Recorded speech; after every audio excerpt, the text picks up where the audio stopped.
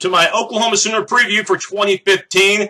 I did intend on having this preview a few days before kickoff. Of course, I didn't intend on having it this late, but you know, I'm going to blame that on personal computer internet issues. Had some issues uh, getting connected, but that has been restored. So I thank you for being patient with me um, for getting this report on a little later than I would have wanted. But I did intend on having this report on a few days before just because I wanted to see what the depth chart was going to look like for the Sooners, how they were going to look one and two deep. So that way the show would definitely have that updated appeal to it. Well, last year the Sooners, I don't know what was appealing about eight and five. I mean, nothing considering the fact that this team was expected to win the Big 12. They were also expected by some to play in the inaugural four-team college football playoff, and that dream took a big hit when they lost to TCU um, early in the season, and then two weeks later, uh, their dream was officially confirmed as not going to happen when Kansas State handed OU their second loss of the season, and then the Baylor blowout, the Oklahoma State stunning loss, and then losing the uh, Russell Athletic Bowl to Clemson. That just poured salt on the wound on an 8 and 5 season.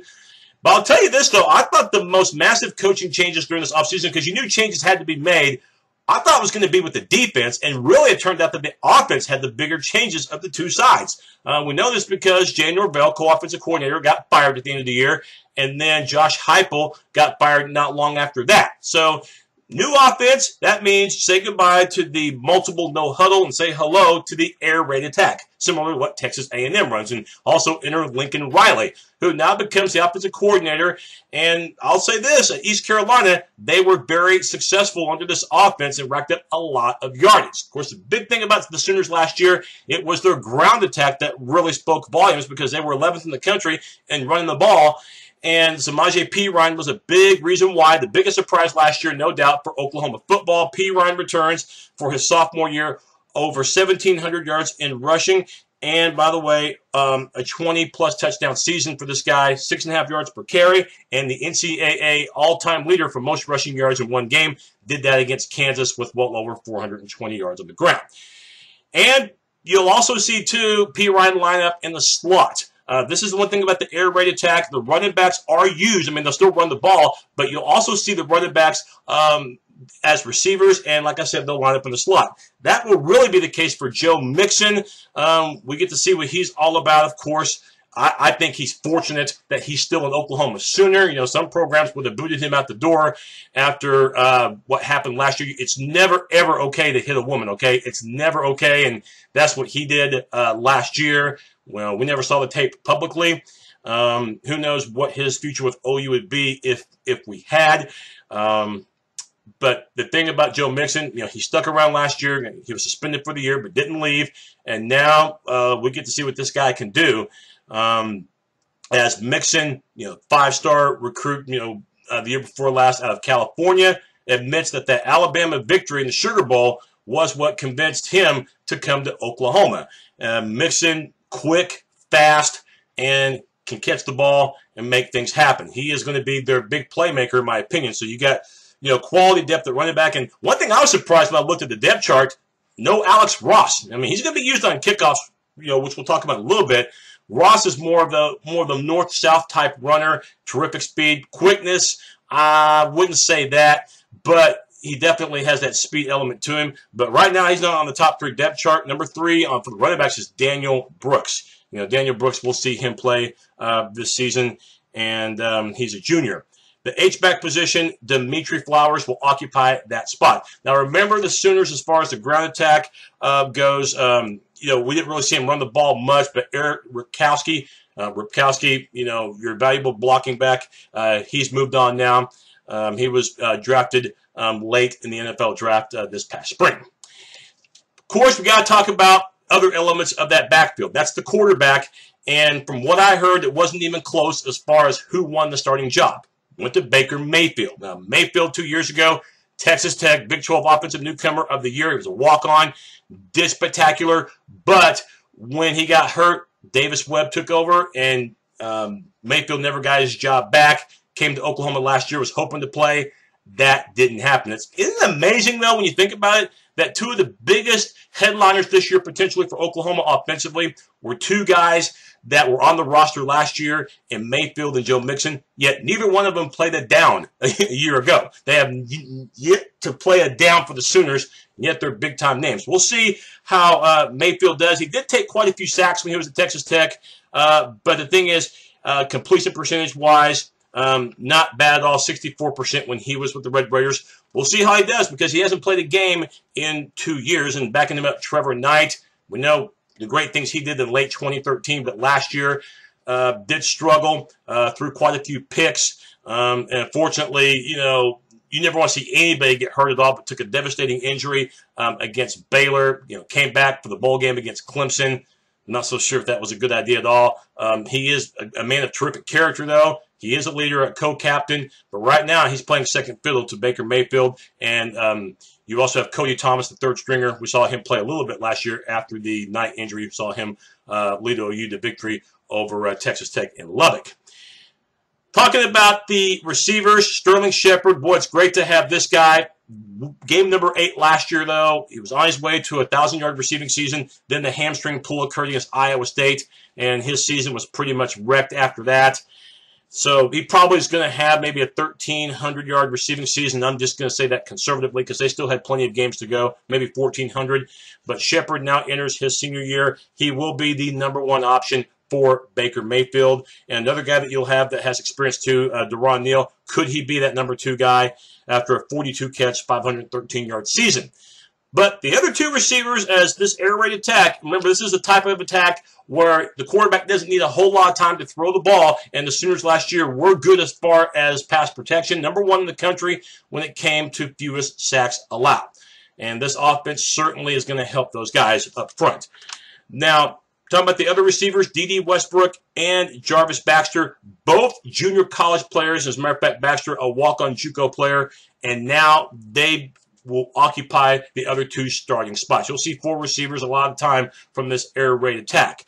Um, but that's the thing about the Sooners. You know, they're going to be young as far as receivers, talented, potential, but inexperienced in at least two of those spots. And none of the starting receivers, by the way, um, are six feet taller, you know, are, or taller than six feet.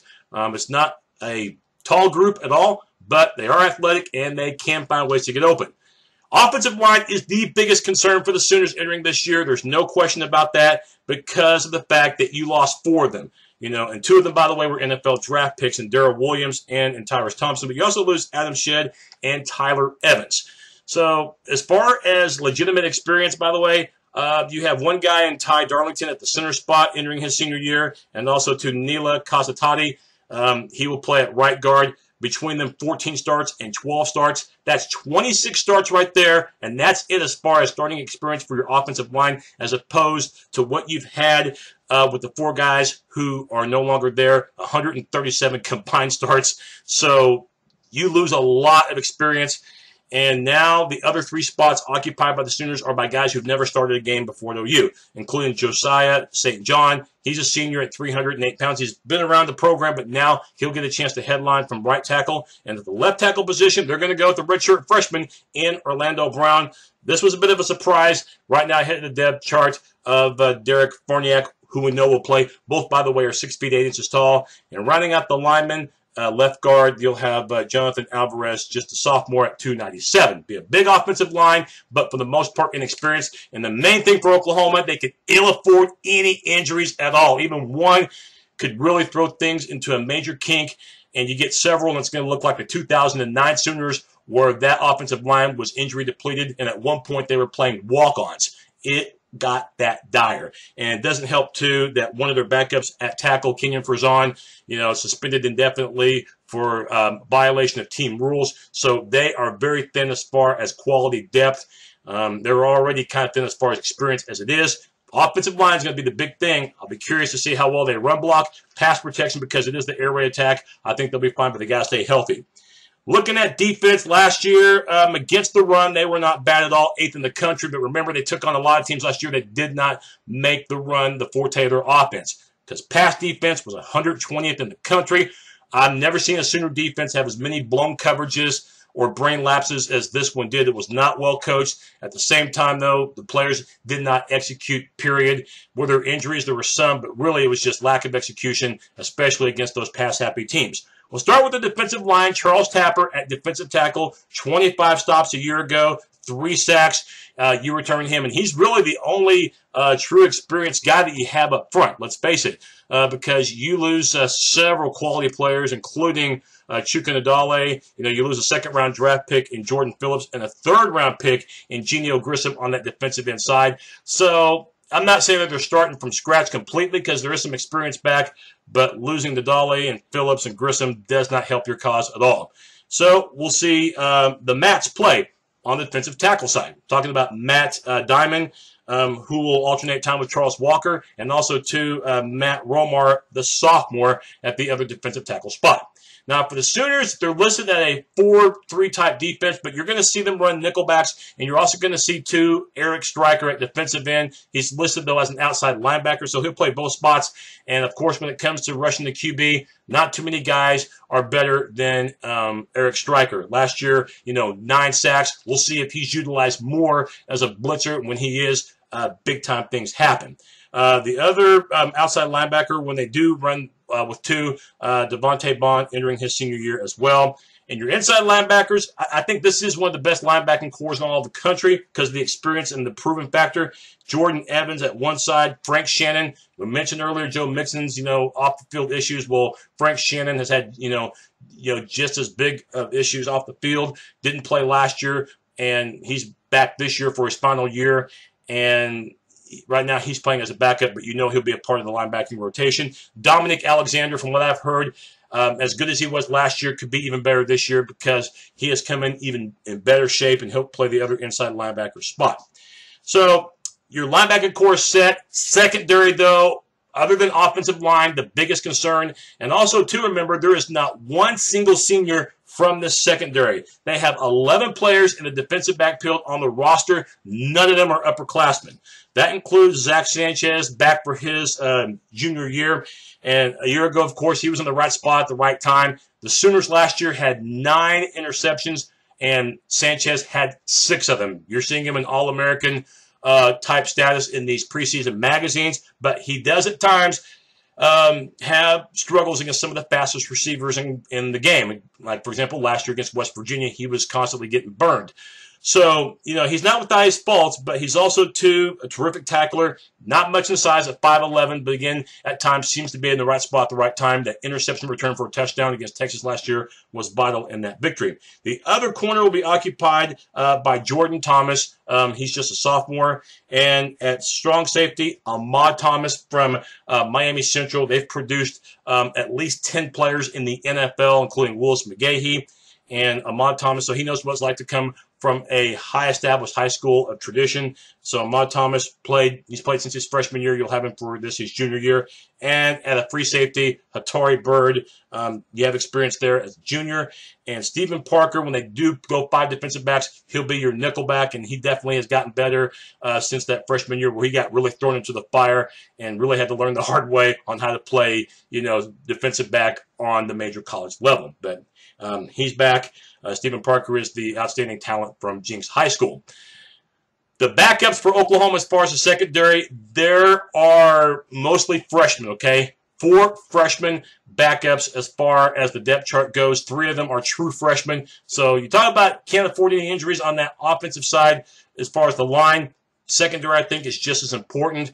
And we'll see if Mike Stoops can get this defensive squad playing at an acceptable level. Because, again, last year they were constantly getting torched um, against those pass-happy teams. Austin Seibert, it looks like he's going to be your punter and also, to your place kicker. He's going to handle double duties, and he is the only true freshman listed as a starter. And I don't have a problem with that. And it, it, really is a shame how Hunnicutt's career ended last year, where he was missing several kicks, including some critical ones at pivotal times. And I'm not saying he costed OU games, but certainly the misses didn't help OU's cause to trying to beat Kansas State and beat Oklahoma State, in which they uh, failed to do both times.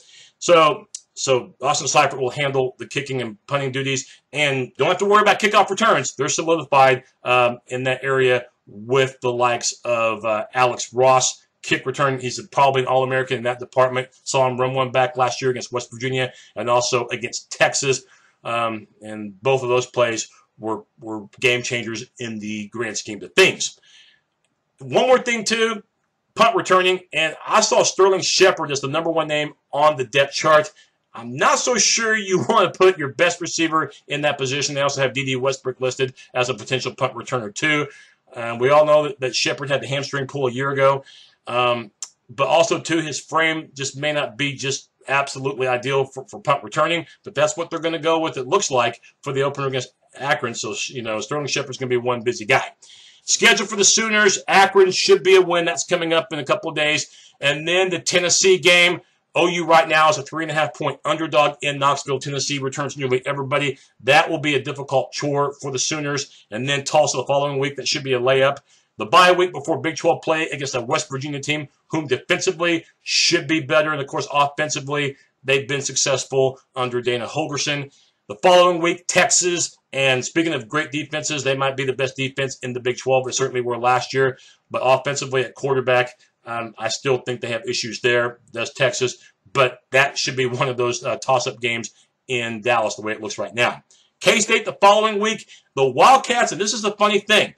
Bob Stoops has never lost as head coach of Oklahoma in Manhattan. A perfect 5-0. It's playing Kansas State at home that's giving him the problems, if you can believe that. But K-State certainly will not be an automatic W. OU will have to earn that one at the Little Apple. And then we get into the second half of the schedule. Texas Tech at home, and then Kansas on the road. Iowa State at home. That should be three for three right there for Oklahoma. The final three games, it is a gauntlet. November 14th at Baylor. We know how good they are. Oh, you found that out the hard way last year, losing by 34 in Norman. And then TCU, you get them at home, though. TCU had a dramatic turnaround. And, of course, they changed their offense up. And you, you saw the results in a 12 1 year for Javon Boykin and the guys from Fort Worth. And you close out the year at Oklahoma State. If that game doesn't get your attention, then none of them will.